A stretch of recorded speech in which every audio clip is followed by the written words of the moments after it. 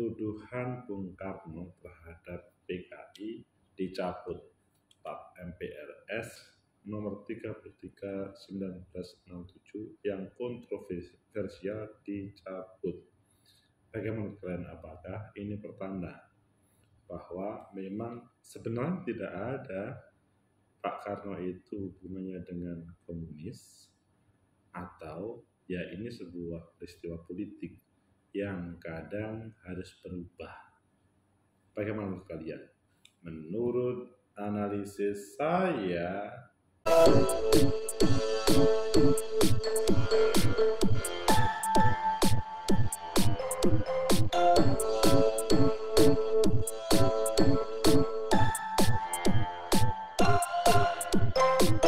Assalamualaikum warahmatullahi wabarakatuh. Salam sejahtera untuk kita semua. Pecinta masa depan tegakkan kebenaran melawan keadilan.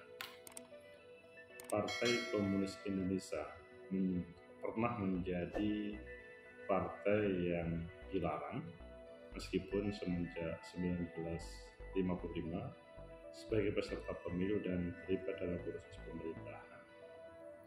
Ini larangan karena bla bla bla. Intinya perpindahan kepada orde lama ke orde baru itu menjadikan banyak orang yang menjadi label atau mendapat label komunis selanjutnya tidak bisa hidup dengan baik. Ini karena Partai Komunis pernah berkhianat terhadap pemerintahan ini dan pada waktu 66 ada isu yang tidak baik. Bahkan menjadi MPRS nomor 33 tahun 1997 yang mengatakan Bung Karno menjadi bagian dari PKI, maksudnya mendukung PKI, tapi pada saat ini dicoret. TAP-FM, TAP-MPRS tersebut dicoret Ayo kita baca di beberapa media. Mengapa ini bisa dicoret. Memang tidak terlibat atau memang sebuah proses dan keputusan politik? Atau mungkin ada hal yang lain sehingga ini tiba-tiba muncul seperti ini? Karena sepertinya tidak pernah ada. Oh tiba-tiba muncul. Ini menjelang 30 September pertama kita baca di Kompas, TAP MPR 33 tahun 1967 resmi dicabut. Tuduhan Soekarno berkhianat dan dukung PKI tak terbukti. Meskipun mungkin kalian tidak melihat proses persidangan, tapi MPR mencabutnya. Kemudian yang kedua, TAP MPR 3367 resmi dicabut, tuduhan Soekarno ini juga judul yang terulang di CNN Indonesia TAP MPRS 33997 secara resmi dicabut Soekarno tak terbukti lindungi PKI kemudian di tempat lain MPR serahkan surat pencabutan TAP MPRS 337 kepada keluarga Bung Karno. Kalian pilih yang mana di Kompas dan kemudian kita perdalam dengan menambahkan yang lain. TAP MPR 33 tahun 1997 dicabut, resmi dicabut, tuduhan Soekarno bergabung dan dukung PKI tak terbukti. Jakarta Kompas.com Majelis Permusyawaratan Rakyat resmi mencabut ketetapan MPR nomor 33 tahun 1997 tentang pencabutan kekuasaan negara dari Presiden Soekarno. Pencabutan kekuasaan negara dari Presiden Soekarno. Hal ini dilakukan dengan menyerahkan surat, resmi tentang tidak berlakunya TAP MPR tersebut oleh Ketua MPR RI Bambang Susatyo Bamsud kepada pihak keluarga Bung Karno pada Senin 9 September 2024 menyatakan TAP MPRS nomor 33 Garing MPRS Garing 1997 sudah tidak berlaku lagi ujar Bamsud Senin. Dengan dicabutnya tap MPRS tersebut, kata Bamsud, tuduhan bahwa Bung Karno telah melakukan pengkhianat terhadap negara dan mendukung pemerintahan oleh Partai Komunis Indonesia tidak terbukti. Secara yuridis, tuduhan tersebut tidak dibuktikan di hadapan hukum dan keadilan, serta telah bertentangan dengan prinsip Indonesia sebagai negara yang berdasarkan atas hukum. Menurut Komsud, langkah ini menjadi tindak tindak lanjut TAP MPR nomor 1 nomor 2023 nomor 1 2003 untuk meninjau kembali status hukum TAP MPR nomor 33 tahun 1997 oh sudah ada besar pada waktu tahun 2003 selanjutnya Bamsud memastikan bahwa MPR akan mensosialisasikan pencabutan TAP MPR nomor 33 tahun 1967 sebagai upaya pemulihan nama baik Bung Karno. Pimpinan MPR RI berkomitmen untuk terus mengawal pemulihan nama baik Dr. Hondes Kausa Insinyur Soekarno atas ketidakpastian hukum yang adil. Untuk diketahui, penyerahan surat pencabutan baru tersebut dilakukan dalam agenda silaturahmi kebangsaan antara pimpinan MPR dengan Presiden hari kelima Megawati Soekarno Putri dan keluarga besar Bung Karno pada 9 September. Pantauan Kumas.com Megawati hadir bersama Soekarno Putra dan untuk Soekarno Putra dan beberapa keluarga Bung Karno lainnya. Pecinta masa depan kita akan Apakah ini akan bisa menyelesaikan sejarah tentang komunis kelamnya di Indonesia? Atau ini malah akan menunjukkan dan mengapa ini bisa terjadi? Menurut analisis saya pertama bahwa TAP MPR S nomor 33 1997 memang sungguh sakti. Karena ini digunakan sebagai alat untuk memperbaiki citra yang ada di suasana pada tahun 6667. Memang Partai Komunis Indonesia sebagai salah satu peserta pemilu 55 dan selanjutnya pasca itu terlibat dalam pengelolaan negara. Beberapa orang menjadi menteri dan beberapa orang menjadi di berbagai tempat yang istimewa.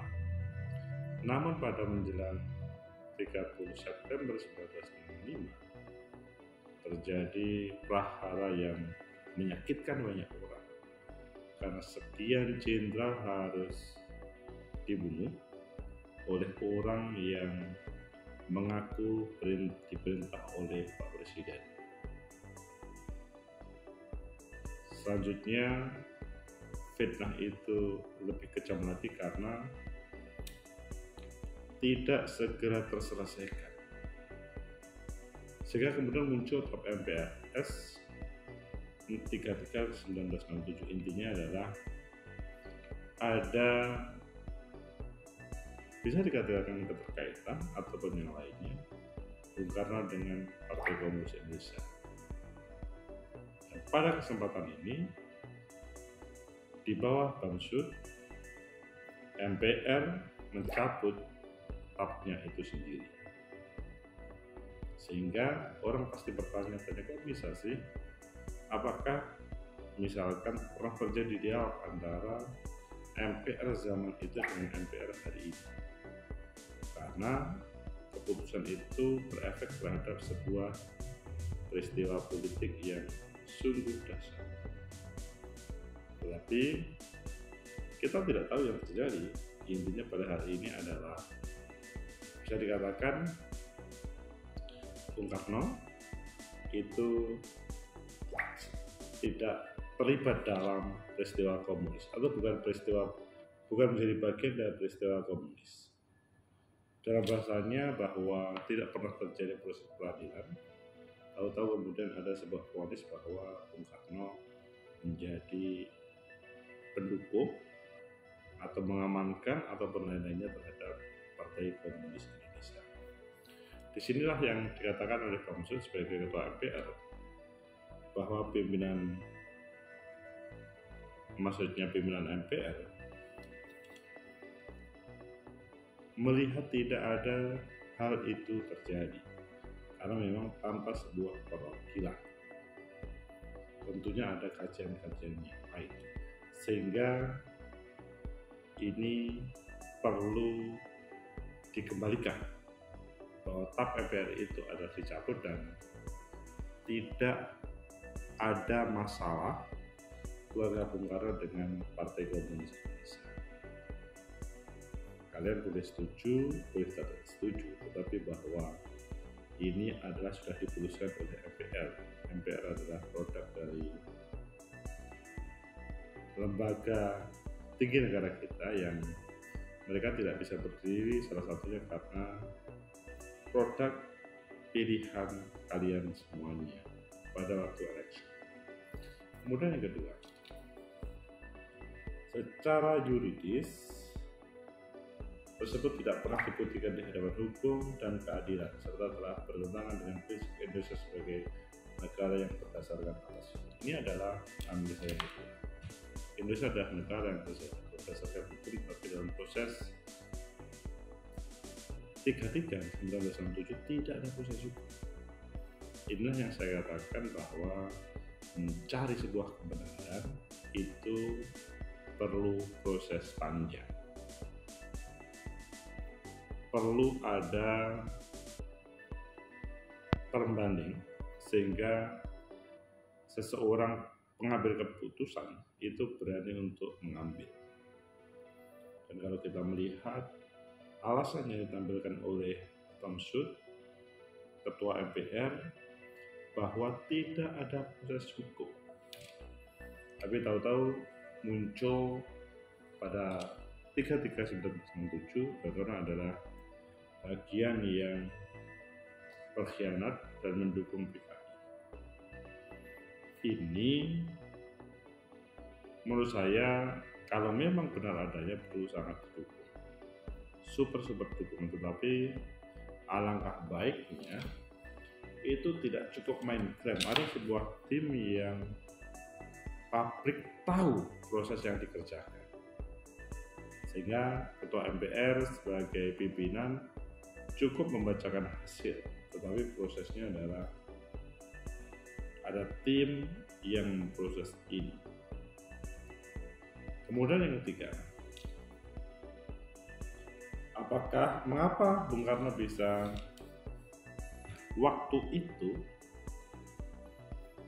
sesudah turun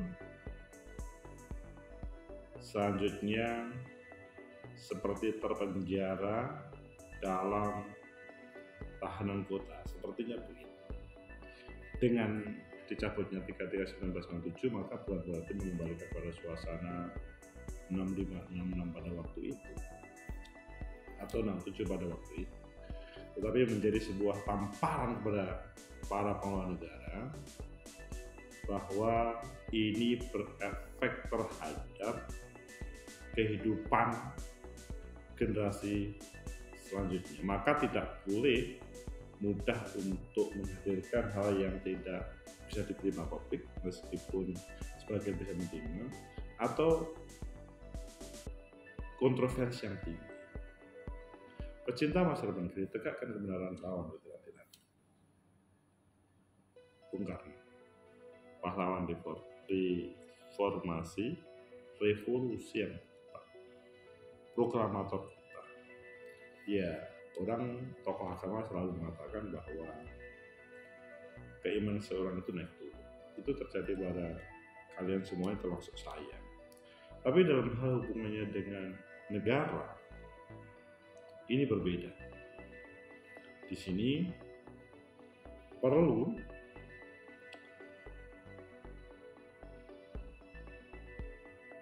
semacam kajian yang serius, lembaga yang serius yang menangani taruh berjalannya ideologi Pancasila di negara ini dengan berbagai persoalan. Sesudah Undang-Undang 33 1997 itu dicabut maka perlu ada inovasi untuk menghasilkan ketaatan masyarakat terhadap pemerintah pusat ataupun negara sehingga tidak terjadi atau tidak terulang lagi terjadi hal yang kita tidak inginkan. Semoga bermanfaat. Like, subscribe, komen, dan share. Sampai jumpa.